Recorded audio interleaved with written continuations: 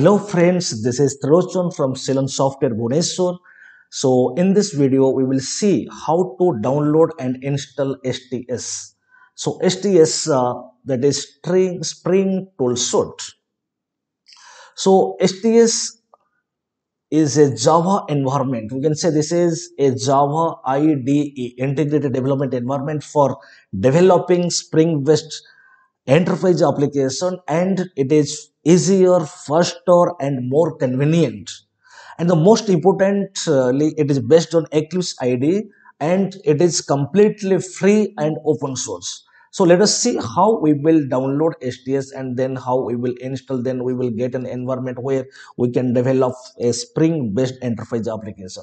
So Spring Tool Suite I will download in Google. If I will type STS download and hit enter, you see the first link spring.io slash tools. You uh, will uh, what, uh, open that link and you see spring tools plus 4 for the version and you see so spring tool suite sts for linux sts for mac sts for windows is available so we are talking uh, what, uh, for windows operating system you see so 4.16.1 so windows x86 underscore 64 so this is the what?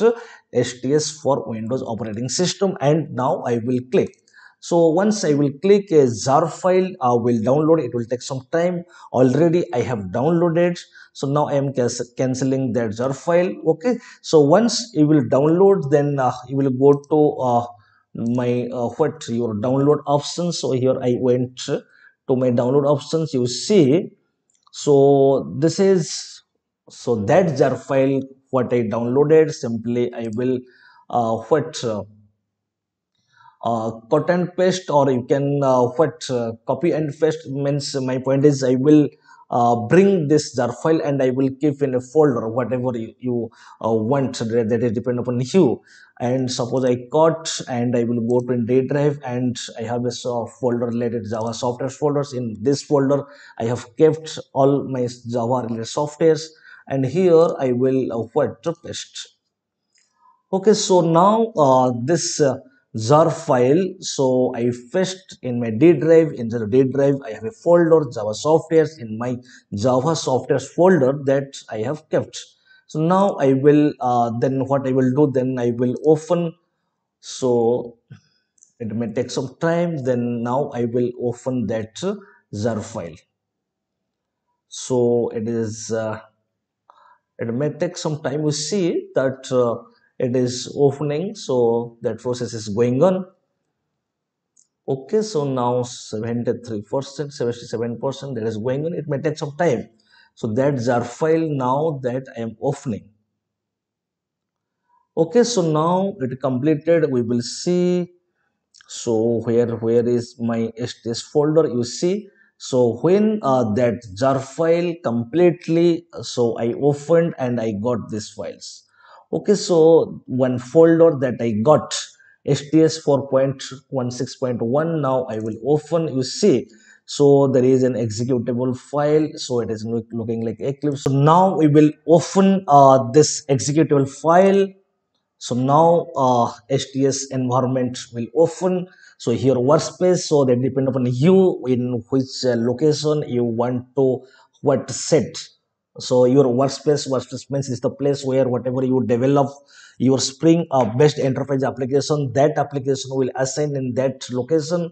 So you can change it also. Suppose uh, here i have uh, uh, what uh, set d but that depend upon you in d drive in a drive. So that depend upon you. You can uh, create a folder inside a drive. You can also what uh, uh, all put all the application in that folder. Suppose i here i will uh, what set d as my workspace and i will click on launch button.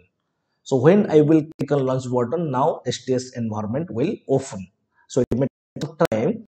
So you see so now my sts environment is opening and this is uh, what completely looking like eclipse environment and this is the environment where we can develop spring based enterprise application. So here so there are so many options create a java project create a new spring starter project import spring getting started content creating a project we can import a project. So definitely this uh, environment uh, having lots of advantages for development of spring based enterprise applications.